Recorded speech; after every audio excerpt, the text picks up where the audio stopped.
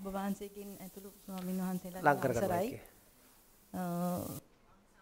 භාවනාවට භාවනාවලට වැඩිය යොමු වෙලා තිබුණේ නැහැ. නමුත් මටත් අත්දැකීමක් මේ භාවනා වැඩසටහනින් ලැබුණා. මම හැබැයි මම පොත්පත් කියවලා ගත් මම මේ අපිට ඉස්සරහට ආවන හරියට. මයික් එක දිගපදිය. පොත්පත් කියවලා ගත්ත දැනුමින් මම මේ ද්වේෂය රාගය මෝහය. ගැන සිතට එන සිතුවිලි නිතරම බලලා ඒක මං පුළුවන් තරම් ඉවත් කරගන්න බැලුවා. ඉතින් මෙතන භාවනා වැඩසටහන තමයි මං ඉස්සෙල්ලාම භාවනා වැඩසටහනකට සහභාගී වුණේ. මට එතනදී තුන්වෙනි දවස වෙනකොට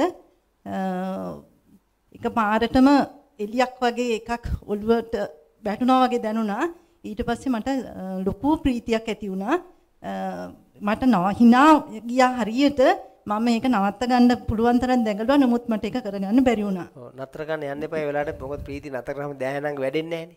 ඉතින් මං ඒක මොකක්ද කියලා දැනන් හිටියේ නෑ. ඔබ වහන්සේගෙන් අහලා දැනගත්තා.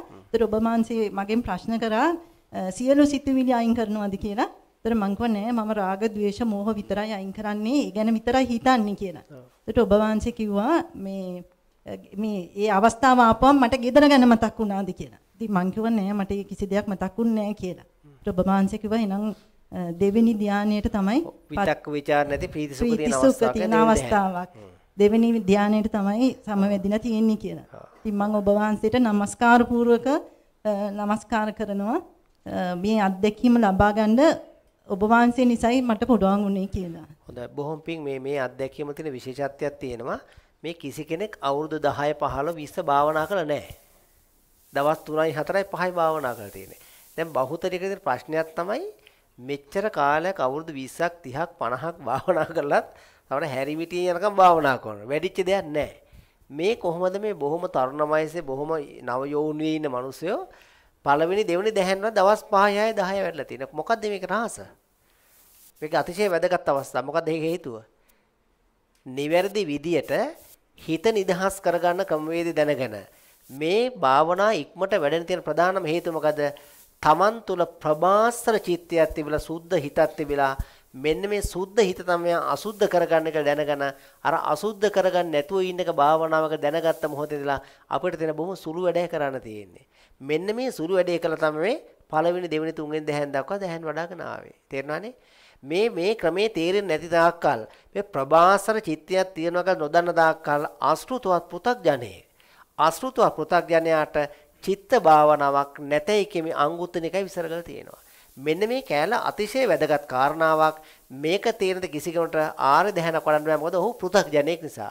එහෙනම් මේ ආර්ය தත්තරපත් වුණාට පස්සේ මේ දැහැනක් වඩන බොහොම ලෙහෙසි වැඩක් වෙනවා. මෙන්න මේ ආර්ය ප්‍රථම ධානය තියෙන ඕනෑම කෙනෙකුට බුද්ධ ශාසනයේ බණ කියන අයිතියක් තියෙනවා දීඝනිකායකේ ලෝහිච්ච සූත්‍රය දීලා තියෙනවා. ධර්මයක් දේශනා කරන්න ගැරහිය යුතු ධර්මදේශකයෝ විසර කරනවා ආර්ය ප්‍රථම ධානවත් නැති කෙනෙක් ධර්ම දේශනා කරන්න පහු ගැරහිය යුතුයි කියලා කියනවා.